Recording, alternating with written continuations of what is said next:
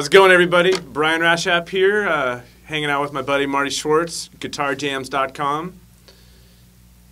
Right about here. Uh, Marty and I uh, were just playing a, a, little classic country turnaround for you. I don't know, um, it, you know, if you noticed, Marty was here. He was all around right here, just there.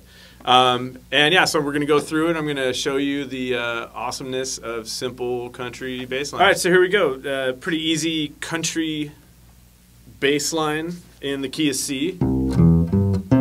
Country guys uh, like that key of C because uh, on guitar, you know, it's a pretty pretty nice, well-rounded tonal uh, choice. So the first note is C. And that's going to be on the third fret of your A string right there. And you're just going to be, go between that and the G, which is the five of the C chord, which gets a little bit too far in there, but that's going to be on the third fret of the E string. So you're going between these two. And technically, this is really the same thing you're going to do for every chord, but there's a little variation in how you're going to actually finger it.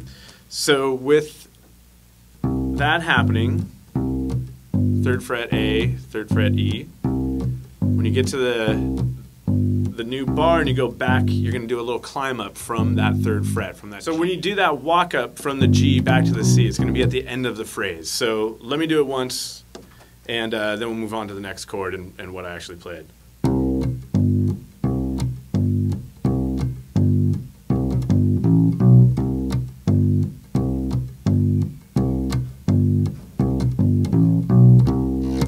So that's going to be your go-to for uh, leading back into a chord or, or, leading back to a next chord. So the next chord in that progression from the C is the F. So for that, what I did is I walked up the same fashion from the G to the C, but from the C to the F.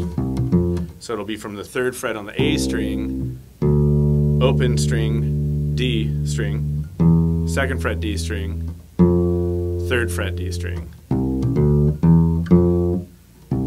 And you can just do the same thing that you did for the C. But if you listen to that little groove at the beginning with Marty and I playing, I actually went down to the other F, which is the octave, which is the first fret of the uh, E string. So.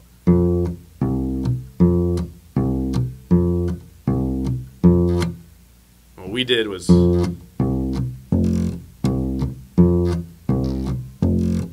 again with that walk up to C. went to a G, which is the third fret of the E string. And we just went between that and the fifth fret of the A string. And we're getting ready for that walk up again.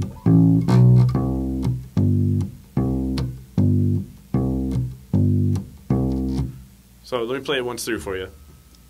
And we're going to use the walk up as the pickup line to the bass line.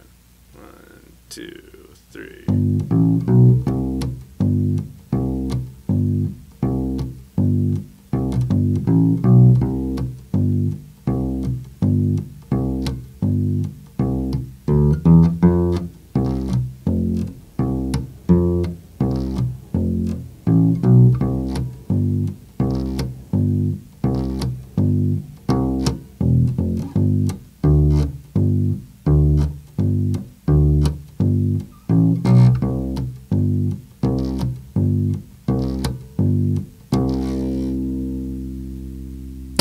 And that's just a little trick. You can even walk up to the G like I did there. But uh, yeah, enjoy. See you next time.